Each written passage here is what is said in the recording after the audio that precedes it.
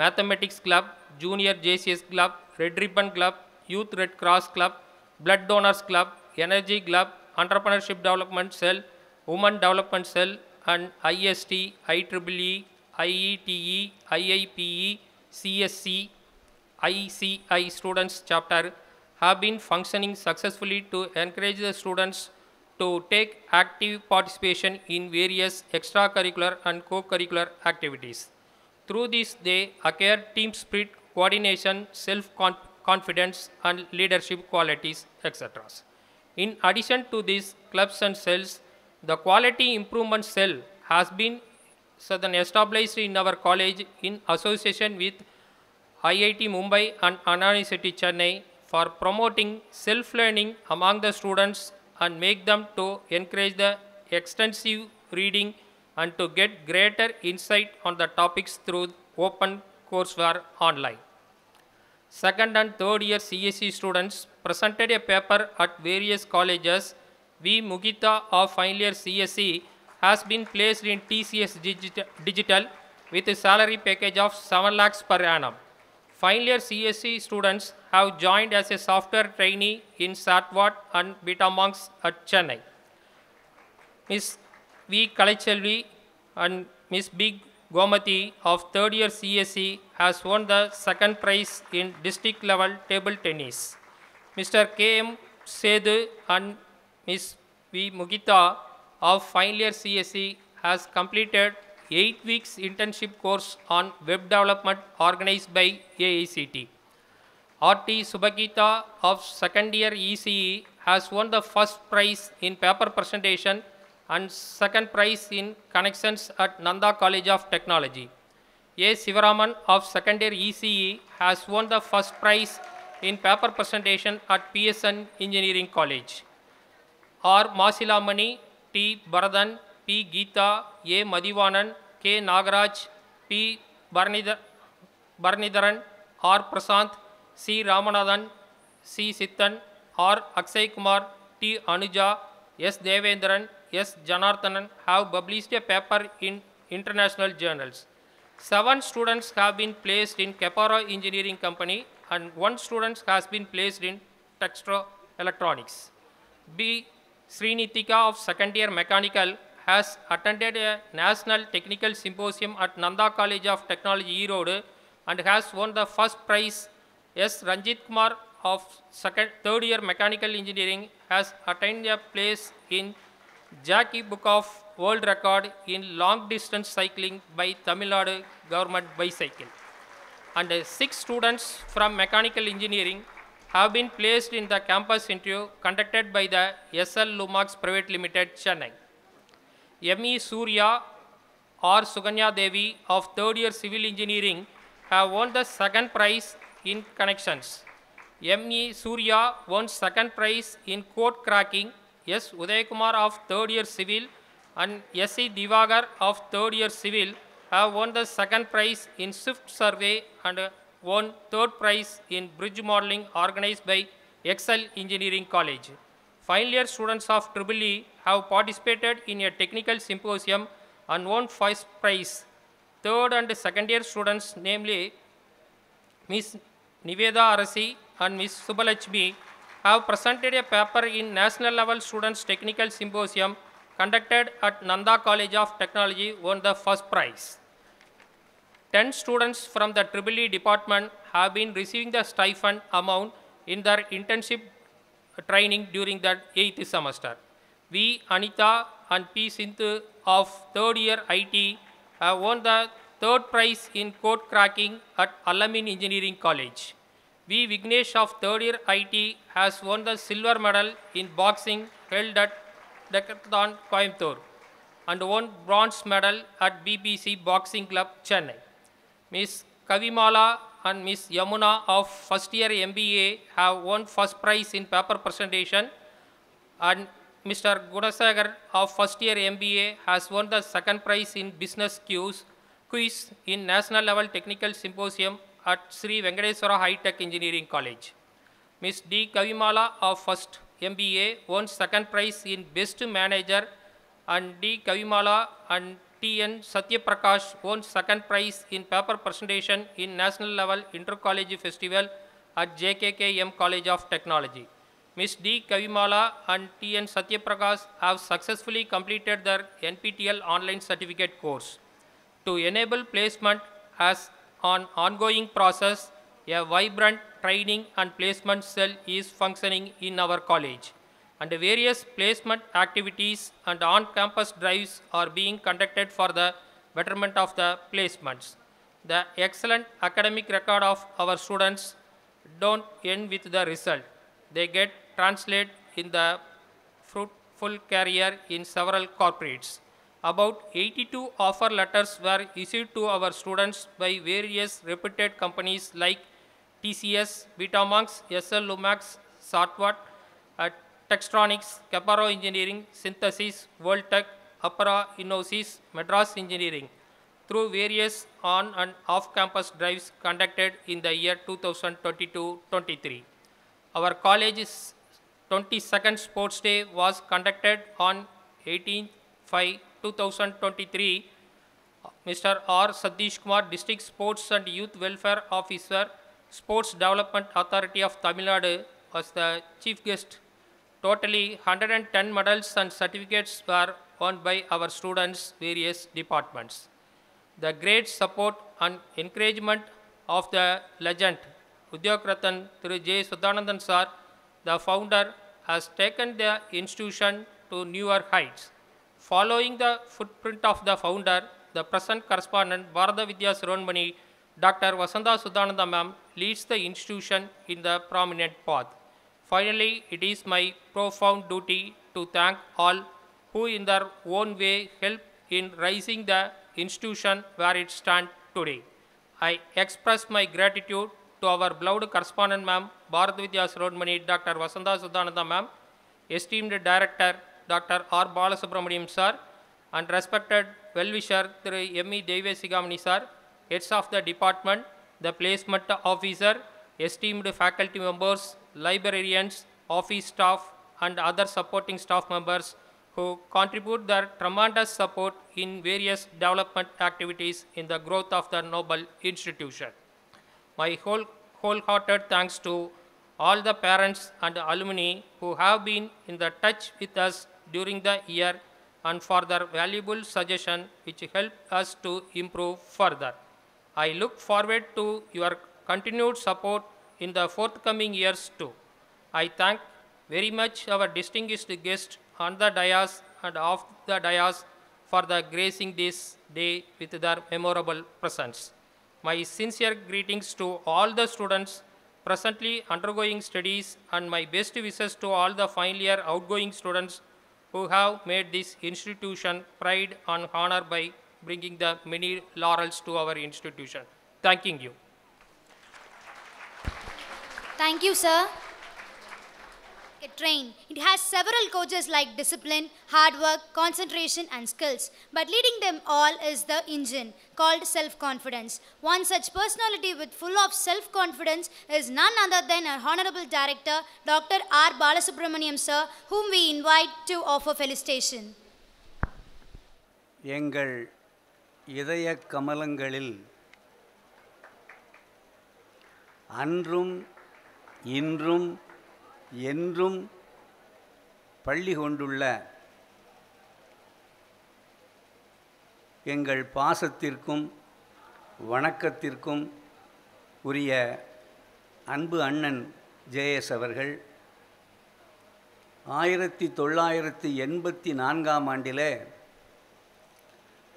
பொருளா பொருளாதாரம் பின்தங்கி இருக்கக்கூடிய நிலையிலே மாணவர்கள் தொழிற்கல்வியை படிக்க இயலாமை இருக்கக்கூடாது என்ற ஒரே காரணத்திற்காக அல்லும் பகலும் அயராது பாடுபட்டு இந்த மண்ணிலே ஏழை எளிய மாணவர்களுக்காக நெசவாளர்களின் குழந்தைகளுக்காக ஆயிரத்தி தொள்ளாயிரத்தி எண்பத்தி நான்கிலே ஆரம்பிக்கப்பட்டதுதான் இந்த எம்பிஎன் எம்ஜே பாலிடெக்னிக் கல்லூரி. அதை சீரும் சிறப்புமாக ஆசிரியப் பெருமக்களோடைய அரவணைப்பில் அன்றிருந்த முதல்வர் மறைதிரு கந்தசாமி அவர்களுடைய அரும்பெரும் ஆற்றலினால் இந்த கல்லூரி நாளும் ஒவ்வொரு பொழுதும் மேனியாக வளர்ந்தது. வார்த்தை கொஞ்சம் தடுமாறுது. ஏனென்றால் எண்பத்தி நான்கிலிருந்து இந்த கல்லூரியோடு தொடர்பு கொண்டவன் நான். அதில் படித்த மாணவர்கள் இன்று பெரிய பேராசிரியர்களாக இங்கே வீற்றிருக்கின்றார்கள். அந்த அரும்பெரும் பாலிடெக்னிக் கல்லூரியை ரெண்டாயிரத்தி ஒன்றிலே தரம் உயர்த்தி பொறியியல் கல்லூரியாக மாற்றி அத்தோடு மட்டுமல்லாமல் இன்னொரு கல்லூரியும் நிறுவி அரிய பாடுபட்டு வளர்த்து வந்தார்கள் தலைவர் அவர்கள். அதன் பின்னர் அந்த கல்லூரியை பத்து ஆண்டுகளுக்கு முன்னே இன்று மேடையிலே வீற்றிருக்கக்கூடிய எனதனமை சகோதரி டாக்டர் வசந்தா சுத்தானந்தன் அவர்களிடம் இந்த கல்லூரியை ஒப்படைத்துவிட்டு அவர்கள் விண்ணிலகம் எய்தினார்கள் அன்று முதல் இன்று வரை இந்த கல்லூரியை தன் குழந்தை போல வளர்த்து வருகிறார் சகோதரி கரஸ்பாண்ட் அவர்கள். இங்கே பயிலக்கூடிய பெண் குழந்தைகளுக்கு பக்க துணையாக தாய் போல இருந்து அவர்களை பாதுகாத்து வருகிறார்கள். கல்லூரி சிறிதுதான். பெரிய கல்லூரி அல்ல. வான்புகழக்கூடிய கல்லூரி அல்ல என்றாலும் கூட நான் ஒன்றே ஒன்றை சொல்லுவேன் ஆசிரியன் என்ற முறையிலே. நன்கு அறிவாற்றல் மிக்க பொருளாற்றல் மிக்க அதை ஆங்கிலத்திலே கிரீமி லேயர் என்று சொல்லுவார்கள். அந்த கிரீமி லேயர் மாணவர்களையெல்லாம் தன்னுடைய கல்லூரியிலே சேர்த்து கொண்டு நாங்கள் உயர்ந்த பட்டங்களையெல்லாம் பெற்று தந்து கொண்டிருக்கின்றோம் என்று சொல்லக்கூடிய கல்வி நிறுவனம் உயர்ந்த கல்வி நிறுவனம் என்று கருதப்படாது என்னுடைய நினைவிலே.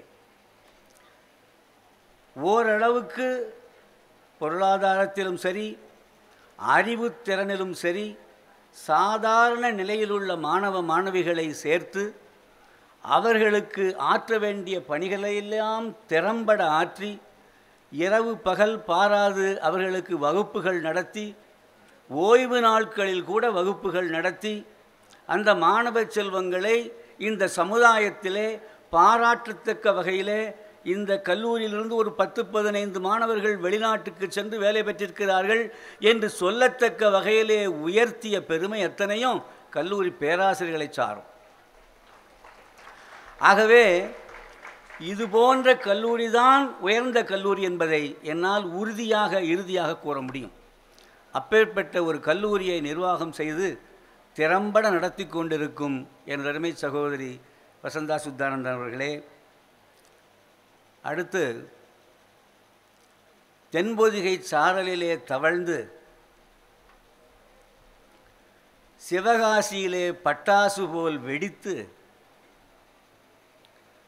ஐம்பது ஆண்டுகளாக ஆங்கிலத்தை துறையை சார்ந்த ஆசிரியர் என்றாலும் கூட தமிழை தமிழ் மொழியை தமிழ் இலக்கியத்தை தமிழ் இலக்கணத்தை நன்றாக ஆய்ந்து அறிந்து அதை மேடையிலே அனைவருக்கும் ஏழை எளியோர்க்கும் பாமரர்க்கும் படித்தவர்களுக்கும் பள்ளிகளுக்கும் கல்லூரிகளுக்கும் தனக்கென்று ஒரு தனி பாணியை அமைத்து கொண்டு அந்த பாணியிலே நகையோடு சுவையையும் சேர்த்து கொடுக்கக்கூடிய எனதருமை சகோதரர் பெரியவர் எனக்கு பெரியவர் தான் இருப்பார்னு நினைக்கிறேன் அவர். பெரியவர் பேராசிரியர் ராமச்சந்திரன் அவர்களே. அடுத்து என்னுடைய சகோதரர் தெய்வ சிகாமணி அவர்கள் உங்களுக்கு எல்லோருக்கும் தெரிந்திருக்கும். நறுக்கென்று எதையும் சொல்லுவார். நிறைய படிப்பார். ஒரு நாளைக்கு பத்து பதினஞ்சு பத்திரிகைகளை படிப்பார் தினசரி பத்திரிகை கூட. அவர் படித்து முடிச்சுட்டு சாயங்காலம் பார்த்தீங்கன்னா அந்த பாதி பக்கத்தில் பத்திரிகைகளுடைய பாதி பக்கங்கள் வெட்டி வெட்டி இருக்கும். என்னன்னு கேட்டால் அவ்வளோத்தையும் தொகுத்து வச்சுருப்பார். தொகுத்து வைத்து கொண்டு மேடையில் பேசுவதென்றால் அப்படியே அள்ளி போடுவார். அப்பேற்பட்ட ஒரு நல்ல அறிஞர் சிறந்த உழைப்பாளர் இல்லை என்று வருவோருக்கு சிறிதும் எண்ணாது கொடுப்பவர். அவர் பரம்பரையே அப்படி. அப்படி கொடுத்து இந்த கல்லூரிக்கும் தன்னுடைய முழு ஒத்துழைப்பையும் கொடுத்து இங்கே அவர் அமைதியாக இருப்பார் ஆனால் பார்க்கும்போது ரொம்ப அமைதியாக இருப்பார். கோவம் வந்துனா மட்டும் பார்க்கவே முடியாது. அப்பேற்பட்ட அன்பு சகோதரர் திரு தெய்வ சிகாமணி அவர்களே. அடுத்து எங்கள் அருமை தம்பி முதல்வர் அவர்கள். இப்போ நீங்கள்லாம் இப்போ தமிழக அரசிலிருந்து நான் முதல்வனா? நான் முதல்வன் நான் முதல்வன் என்று அடித்துக் கொண்டிருக்கிறார். இவர் எங்கள் முதல்வன் உங்கள் முதல்வன் எப்பொழுதும் முதல்வன் அருமையாக இளைஞன். பார்த்தா அவருக்கு ஒரு முப்பது நாற்பது வயசு தான் தெரியுது.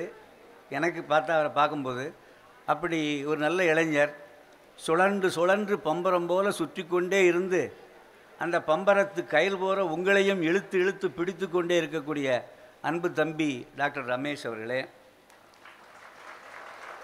எல்லாத்துக்கும் மேலே கடைசியில் வாழ்த்துறவங்க வந்திருக்காரு.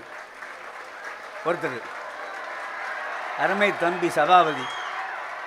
என்ன? அவர் இந்த கல்லூரியிட மாணவர் பேராசிரியர் அன்பர் நண்பர் உங்களுக்கெல்லாம் நண்பர் எங்களுக்கெல்லாம் அன்பர் அப்பேற்பட்ட அருமை தம்பி சபாபதி அவர்களே. எனதருமை ஆசிரிய பெருமக்களாகிய சகோதர சகோதரிகளே எனதருமை செல்வங்களாகிய மாணவ மாணவிகளே எல்லோருக்கும் வணக்கம். நான் ரொம்ப நேரம் பேசக்கூடாது. ஏன்னு கேட்டால் பெரிய பேச்சாளர் மேடையில் வச்சுக்கிட்டு நான் பாட்டு கதை அளந்துக்கிட்டு இருக்கக்கூடாது. இருந்தாலும் கூட ஒன்று ரெண்டை மட்டும் சொல்லிட்டு விளைகிறேன் இந்த நகையும் சுவையும் சேர்ந்தா தான் நகைச்சுவை. எனக்கு என்னமோ அது நகையும் சதையும் போல் இருக்குமோ என்னமோன்னு தோணுது. என்ன? நகை என்பது பொன்னகை பெண்களுக்கு அதை போட்டால் பெண்கள் முகத்தில் புன்னகை இல்லையா? போடலைன்னா சொல்ல தெரியாது. என்ன? அப்பேற்பட்ட நகைச்சுவையை நளினமாக சொல்லக்கூடியவர் இலக்கியத்தின் மூலமாக சொல்லக்கூடியவர் நம்முடைய இன்றைய சிறப்பு பேச்சாளர். ஒரு சின்ன ஒரு உதாரணத்தை மட்டும் சொல்லிட்டு விளைஞ்சிடுறேன். ஒரு நாட்டில் ஒரு மன்னன் இருந்தானாம். அந்த மன்னனுக்கு வெளிநாட்டிலிருந்து அந்த நாட்டு மன்னர் கொஞ்சம் கத்திரிக்காய் கொடுத்து விட்டாராம். கத்திரிக்காய் தெரியுமா உங்களுக்கு எல்லாத்துக்கும்? எங்கள் ஊரில் ஃபேமஸ்ஸு உங்கள் ஊர்லேயும் இருக்கும். கத்திரிக்காய் கொடுத்து விட்டாராம். இந்த கத்திரிக்காயை சமைத்து சாப்பிட்டு பாருங்கள் அரசே இது ரொம்ப பிரமாதமாக இருக்கும் அப்படின்னு சொல்லியிருக்கார். உடனே அரசரும் அதை சமைக்க சொல்லி எல்லாரும் சேர்ந்து மந்திரி பிரதானிகள் எல்லாரும் சேர்ந்து உட்காந்து சாப்பிட்ருக்காங்க ரொம்ப சுவையாக இருந்திருக்கு கத்திரிக்காய். இப்போ உடனே இந்த மீதி இருக்க கத்திரிக்காயை யாருக்கும் கொடுத்துடாத ஒருத்தர் கொடுக்கக்கூடாது. பத்திரமா உள்ளே வச்சு பூட்டு அடுத்த நாளும் சமைச்சு அதை தான் சாப்பிடணும். அப்படின்னு மன்னன் சொல்லியிருக்கார். அந்த சபையில் இருந்த ஒரு மந்திரி சாப்பாட்டு பெரியர் போல் தெரியுது அவர். அவர் அந்த சுமையை பார்த்துட்டு எப்படியாவது நம்ம வீட்டுக்கு ரெண்டு கத்திரிக்காயை கொண்டு போயிடணுமே நம்ம வீட்டம்மாவுக்கும் மனைவிக்கும் மகனுக்கும் கொடுத்தாகணுமே. அவ்வளோ சுவையாக இருக்குது அந்த கத்திரிக்காய் அப்படின்னு சொல்லி எப்படியோ வேலைக்காரங்களெல்லாம் சமாளித்து ராத்திரி ஒரு நாலு கத்திரிக்காயை திருடிட்டார். திருடி வீட்டுக்கு கொண்டு போயிட்டார்.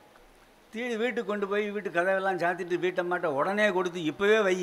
பிரமாதமாக இருக்கும். இன்றைக்கி நைட்டே சாப்பிட்டு சுவையை பார்த்துடணும் அப்படின்ட்டாராம் சரின்னு அந்த அம்மா வச்சுருக்கு. சாப்பிட்டு பார்த்துருக்காங்க. டேஸ்ட்டு பிரமாதமாக இருக்குது நம்ம பையா எங்கே இருக்கான்? ஆளை காணலையே. அவனுக்கு கொஞ்சம் போல் ஒரு ரெண்டு துண்டு கொடுப்போமே அப்படின்னு பையனை தேடினா பையன் வெளியே கட்டில் போட்டு படுத்துட்டுருக்கான் இப்போ அவனை போய் கத்திரிக்காய் சாப்பிட வாடா அது நல்லா இருக்குது அப்படி இப்படின்னு ஏதாவது சொன்னோம்னா எவன் காதலையாவது போகிறவன் வர்றவன் பக்கத்து வீட்டுக்காரன் காதில் விழுந்து உடனே மன்னங்கிட்ட போய் சொல்லி கத்திரிக்காய் கிளவான்ட்டான் மந்திரினா என்ன ஆகும் மந்திரி நிலைமை? ஆனால் பயந்து போய் மெல்ல மெல்ல கூப்பிட்ருக்காரு டேய் டேய் வாடா எழுந்துடா அப்படின்ட்டு இருக்கா அம்மா. அவன் அங்கே கும்பாரன் தூக்கம் தூங்கிட்டு இருக்கான்.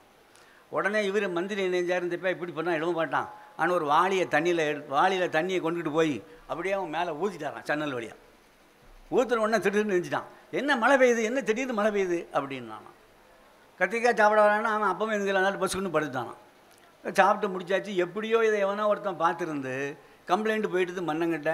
கத்திரிக்காய் திருடினது யார்? மந்திரி. மந்திரியை கூப்பிட்டு தண்டனை கொடுப்போம் அப்படின்னு மந்திரியை கூப்பிட்டு விசாரணை நடக்குது. அப்போ நாங்கள் எடுக்கவே இல்லைன்னு போய் சொல்கிறார் மந்திரி. அப்போ பையனை கூப்பிட்டு கேட்போம். அவன் தான் சின்ன பையன் தான் உண்மையை சொல்லுவான் அப்படின்னு அவனை கூப்பிட்டு கேட்டிருக்காரு.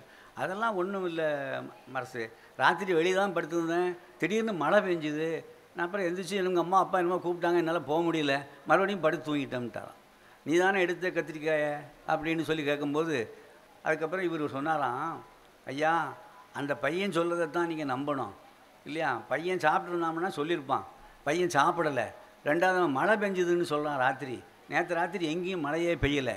அப்போ எப்படி நான் கத்திரிக்காய் சாப்பிட்ருக்க முடியும்? அப்படின்னு ஒரு புதுமையான விளக்கத்தை கொடுத்தாராம் மந்திரி. அப்படியாப்பா ஆன்னு கடைசியில் மந்திரி பேச்ச மன்னனும் கேட்டுட்டு நீ கத்திரிக்காயை சாப்பிடலன்னு அதுக்கப்புறம் சொன்னாராம் உண்மையிலே நான் தான் கத்திரிக்காயை களவாண்டேன். நான் தான் சாப்பிட்டேன். என் பையனை கூப்பிட்டு கொடுத்தேன் அவன் சாப்பிட மாட்டோம்ட்டான். ஆனால் எந்திரிக்காண்டி மழை தண்ணி தண்ணியை வாளி தண்ணியை இறைச்சேன் அவன் அப்பவும் எந்திக்கலை. ஆனாலும் பொய் சொல்லிட்டேன் எனக்கு தண்டனையை தாங்க அப்படின்னாராம். அப்போ மன்னன் சொன்னானாம் தப்பு தான் மன்னன் என்பவன் மக்களுக்காக வாழ வேண்டியவன். மன்னன் தனக்காக வாழ வேண்டியவன் அல்ல. எந்த ஒரு பொருளை கிடைத்திருந்தாலும் அந்த பொருளை தான் மட்டும் உண்ணாது தன்னை சார்ந்தவர்களுக்கும் மக்களுக்கும் கிடைக்க வேண்டும் என்று நினைக்காமல் நான் மட்டும் உண்டதனால் நானும் ஒரு குற்றவாளி. ஆகவே நீ குற்றவாளி அல்ல. எனக்கு தானே நான் தண்டனை வைத்துக்கொள்கிறேன் இனிமேல் கத்திரிக்காயே நான் சாப்பிட மாட்டேன் அப்படின்ட்டான். இது எதுக்காக வேண்டி சொல்கிறோம்னாக்க சின்ன சின்ன விஷயங்களில் கூட ஒரு கருத்துக்கள் இருக்கும். இப்போது அவன் மழை பெஞ்சுதுன்னு சொன்னான் பார்த்தீங்களா அந்த ஒன்று தான் தி சேஞ்ச் இன் தி ஜட்ஜ்மெண்ட்டு அந்த மழை வந்து வ- தண்ணி போய் வாளி தண்ணி விழுந்ததுனால வந்த ஒரு விளைவு. அதனால் எப்பொழுதுமே நாம் சிந்திக்க வேண்டும். அதுவும் இந்த நகைச்சுவையினால் நம்ம நகைச்சுவையிலும் கருத்துக்கள் இருக்கும். ஆழ்ந்த கருத்துக்களோடு நகை நகைச்சுவையை சொல்லக்கூடியவர் என்எஸ் கிருஷ்ணன் என்ற ஒரு சிறந்த நடிகர் இருந்தார். எனக்கெல்லாம் மறந்து போச்சு. எல்லாம் பாடலாம் கூட முன்னாடி ஞாபகம் இருந்தது. அருமையாக பாடுவார். ஒவ்வொரு பாட்டிலும் ஒவ்வொரு சொல்லிலும் ஒரு அர்த்தம் இருக்கும். அந்த சொல்லுக்கு தனியான ஒரு புகழ் இருக்கும் ஒரு தத்துவமும் இருக்கும். ஆகவே அந்த மாதிரி நகைச்சுவையினால் மக்களை திருப்திப்படுத்த முடியும். ரெண்டாவது இந்த நகைச்சுவை தான் கொடுப்பவருக்கும் இன்பம் தருமா வாங்குறவருக்கும் மகிழ்ச்சி தருமா? எந்த கஷ்டமும் இல்லாமல் பார்த்துருப்பீங்க சின்ன வயதில் ரொம்ப கஷ்டப்பட்டவன் தான் இந்த சார்லி சாப்பிளின்னு ஒரு சினிமா நடிகர் சொல்லுவாங்க கேள்விப்பட்டிருக்கீங்களா? ஆங்கிலத்தில். இப்போ சாப்பாட்டுக்கு கூட வழி இல்லாமல் இறந்து போய் விடுவோம் என்ற நிலைக்கு போனவன் உலகப் புகழ்பெற்ற ஒரு நாயனாக மாறினான் என்றால் அவனுக்கு கை கொடுத்தது நகைச்சுவை. ஆனால் நகைச்சுவை என்பது சொல்லில் மட்டுமல்ல. சொல்லக்கூடிய சொல்லின் பொருளில் இருக்கிறது. பொருளில் மட்டுமல்ல. அதை புரிந்து கொள்ளும் விதமாக வாயால் சொல்ல முடியவென்றால் கைகளால் கால்களால் ஆடி பாடி அந்த நகைச்சுவையை கொடுக்கலாம். ஸோ தன்னுடைய உடல் அசைவிலே நகைச்சுவையை கொடுக்கக்கூடிய நடிகர்கள் நேரம் பார்த்துருப்பீங்க தமிழ்லையே. இந்த வடிவேலு செந்திலும் ஒருத்தன் ஒருத்தன் அடிச்சுக்கிட்டே இருப்பான். எப்போ பார்த்தாலும் ஒருத்தனை ஒருத்தன். இல்லையா? ஆக நகைச்சுவை பலவிதம். அதில் இவர் ஒரு விதம் அந்த ஒரு விதத்தில் நீங்கள் பலவிதமான நன்மைகளையும் பலவிதமான இன்பங்களையும் மகிழ்ச்சிகளையும் பெற்று நீங்கள் அதோடு மட்டுமல்ல சிரிப்பு என்பது வேண்டும். அதுக்கும் ஒரு அளவு உண்டு. அளவோடு சிரிக்கணும். நீங்கள் திடீர்னு உட்காந்துக்கிட்டே சிரிச்சிங்கன்னா என்ன என்ன நினப்பான் அவங்கள பற்றியே சொல்லு பார்ப்பான் சார் இன்னைக்கு பேசுகிற நகைச்சுவையை நாளைக்கு சாயங்காலம் வீட்டில் உட்காந்து அப்படின்னா என்ன ஆகும்? ஒரு மாதிரி ஆயிரும். அது மாதிரி சிரிக்க வேண்டும். சிரித்து வாழ வேண்டும் பிறர் சிரிக்க வாழக்கூடாது மற்றவரை சிரிக்க வைக்க வேண்டும். அதற்கு நீ செலவழிக்கவும் கூடாது. செலவில்லாமல் சிரிக்க வைக்கணும் செலவில்லாமல் சிரிக்கணும் இல்லையா? ஆகவே மகிழ்ச்சியோடு இருக்க வேண்டும். மகிழ்ச்சியோடு இருந்தோம் என்றால் வயது குறைஞ்சிக்கிட்டே இருக்கும்னு சொல்கிறாங்க அந்த மகிழ்ச்சிக்கு நகைச்சுவையும் ஒரு காரணம். நிறைய இடத்துல நகைச்சுவை மன்றங்கள் இருக்கிறது. கைதட்டக்கூடிய மன்றங்கள் என்று இருக்கின்றன. இங்கே கூட இருக்குன்னு நினைக்கிறேன். ஈரோட்டில் ஒரு ஏதோ ஒரு ந- மன்றம் இருக்குன்னு இல்லை? அப்படி மன்றங்கள் இருக்கின்றன. ஏன்னா நிறைய பேருக்கு இப்போ சிரிக்க முடியலை. குடும்பத்தில் சிரிக்கிறது ரொம்ப குறைஞ்சி போச்சு. அதனால் அண்ணன் கூட சொல்லிகிட்டு இருந்தார் நான் கூட்டு குடும்பத்தை விட்டுட்டோம். என்ன? ஆனால் மூட்டு குடும்பத்தை வச்சுருக்கோம் இப்போ. நிறைய பேருக்கு மூட்டு வலி. அதனால் மூட்டு குடும்பம் நிறைய இருக்குது கூட்டு குடும்பம் இல்லை என்று ஒரு நகைச்சுவையாக சொல்லி கொண்டிருந்தார். ஆகவே அவருடைய சிரிப்பிலே நீங்கள் மயங்க வேண்டும் மயங்கி தெளிந்து விட வேண்டும். மயக்கத்திலேயே எப்பொழுது இருக்கக்கூடாது. ஏன்னா உங்கள் வயசு அப்படி. வேறு பல்வேறு மயக்கங்கள் இப்போ இருக்கும். அந்த மகத்தில் இந்த நகைச்சுவை மயக்கமும் சேர்ந்து வரும் பொழுது ஒரே தெரியாக மயங்கி விழுந்துடாதீங்க எப்பொழுதும் வெளிப்போடு இருங்கள். அப்போ தான் இந்த உலகத்தில் வெற்றி அடைய முடியும் என்று சொல்லி எல்லாமல்ல இறைவன் உங்களுக்கு எல்லாமல்ல அருளையும் கொடுத்து நீண்ட ஆயுளையும் நிறைய செல்வத்தையும் நல்ல கல்வியையும் உயர்ந்த உத்தியோகத்தையும் கொடுப்பார் என்று வேண்டிக் கொண்டு விடைபெறுகிறேன். நன்றி வணக்கம். Thank you sir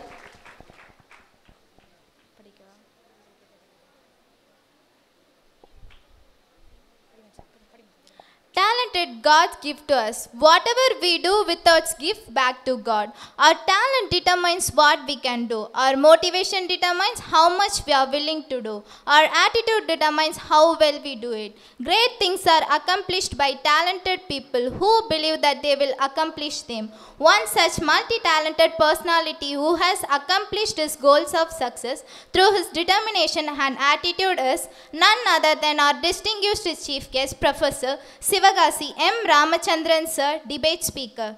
To tell more about his achievements, awards, and rewards, we invite Mrs. R. Gayatri Ma'am, Assistant Professor of English, to introduce our chief guest. அவையோருக்கு என் மதிய வணக்கம் நமது கல்லூரியின் நிறுவனர் உத்தியோக ரத்னா திரு சுத்தானந்தன் ஐயா அவர்களின் பொற்பாதங்களை வணங்கி இன்றைய சிறப்பு விருந்தினர் அவர்களை அறிமுகம் செய்வதில் மற்றற்ற மகிழ்ச்சி அடைகிறேன் புல்லாய் பிறந்தாலும் புவியில் நான் புயலுக்கும் அசைவதில்லை பூகம்பத்திலும் சிதறுவதில்லை. நீ ஒரு புல் என சகதியில் அமிழ்திடினும் சடுதியில் உயிர் தெழுவேன் சாயமாட்டேன் என்ற நேர்மறை எண்ணம் கொண்ட இவர் மதுரையில் பிறந்தார். மதுரை தியாகராஜர் கலைக்கல்லூரியில் தனது இளங்கலை